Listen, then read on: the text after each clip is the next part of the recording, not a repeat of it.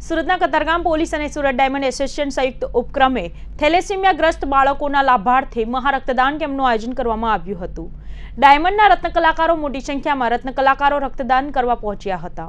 મનપાના mayor Dakshesh Mavani police commissioner Ajaykumar Tomar diamond એસોસિએશનના વિવિધ હોદ્દેદારો સહિત કતારગામ વિસ્તારના ભાજપના નગરસેવકો પોલીસના ઉચ્ચ અધિકારીઓ સહિત મોટી સંખ્યામાં લોકો ઉપસ્થિત રહ્યા હતા સુરત પોલીસ કમિશનર દ્વારા યુવા પેઢીને વ્યસનથી દૂર રાખવા માટે લાંબા સમયથી સે નો ડ્રગ્સ અભિયાન ચલાવવામાં આવી રહ્યું છે મોટી માત્રામાં ડ્રગ્સ ઝડપી પાડવામાં સુરત પોલીસને સફળતા મળી છે અને આરોપીઓને જેલમાં ધકેલી દીધા છે સુરત પોલીસ દ્વારા શહેરના તમામ પોલીસ સ્ટેશન વિસ્તારમાં થેલેસેમિયાગ્રસ્ત બાળકો માટેના લાભાર્થે રક્તદાન કેમ્પનું આયોજન કરવામાં આવી રહ્યું છે ત્યારે આજરોજ કતારગામ પોલીસ અને સુરત ડાયમંડ એસોસિએશનના સંયુક્ત ઉપક્રમે મહારક્તદાન કેમ્પનું આયોજન કરવામાં આવ્યું હતું જેમાં મોટી સંખ્યામાં રક્તદાતાઓ રક્તદાન કરવા પહોંચ્યા હતા જેમાં હીરાના ઉદ્યોગપતિ પણ ઉપસ્થિત રહ્યા હતા સારા છે જેને સાથે ગુનાહગારીને ને સામાજિક કોઈ પ્રવૃત્તિને लेवा देवा नहीं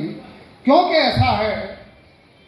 ये खास बात मैं इसलिए भी बताना चाहूँगा कि कुछ दिन पहले हमारी एक चर्चा हो रही थी कैम्ब्रिज यूनिवर्सिटी में और वहाँ मैं बता रहा था कि सूरत में हम इस तरह से काम करते हैं पुलिस कायदो व्यवस्था की जाळवनी भी करती है पुलिस गुनाह शोधती भी है अभी अभी कांति भाई ने बताया कि कुछ दिन पहले एक फ़ोन गुम हुआ था। कोई आशा नहीं थी कि फ़ोन वापस मिल जाएगा।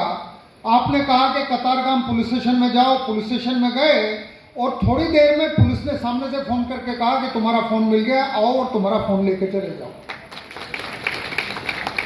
ये सारी कामगिरी जिस तरह से हम लोग कर रहे हैं, हम लोग मतलब आप और हम मिलके जब ये काम करते हैं, तब सुंदर सूरत का निर्माण होता है, तब शांत और सलामत सूरत का निर्माण होता है। मैं खास कैम्ब्रिज यूनिवर्सिटी का ज़िक्र इसलिए बता रहा था कि वहाँ की क्लास में एक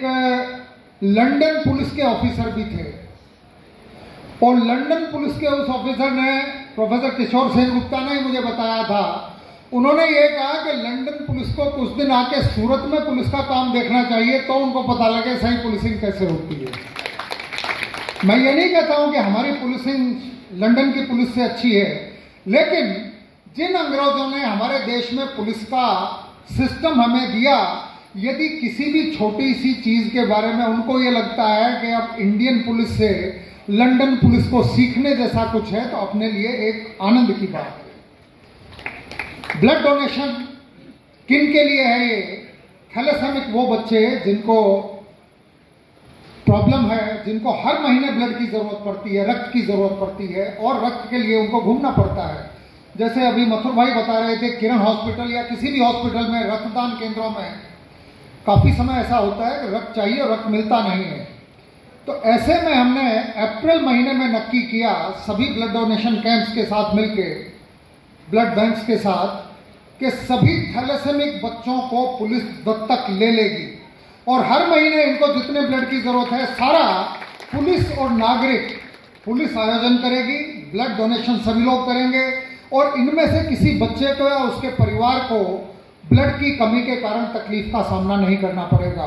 अब मुझे आनंद है कि आठ महीने हो गए हैं। आठ महीने से लगातार किसी थैलेसेमिक बच्चे को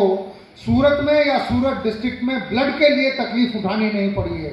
इसके लिए मैं आप सभी लोगों को अभिनंदन देता हूँ। कतारगाम विस्तार में आप लोग जो हैं आप भारत के अलग अलग राज्यों से हैं काठियावाड़ से हैं इतनी ऊर्जा इतनी एनर्जी आप लोगों में देखने को मिलती है कि एक अच्छा काम कोई आदमी बताए કોઈ ચીંધે કે આ કામ કરવા જેવું છે ને તમે બધા એકદમ એને ઉપાડી લો છો આ અદ્ભુત વારસો તમે સાથે લઈને આવ્યા છો અને આ વારસો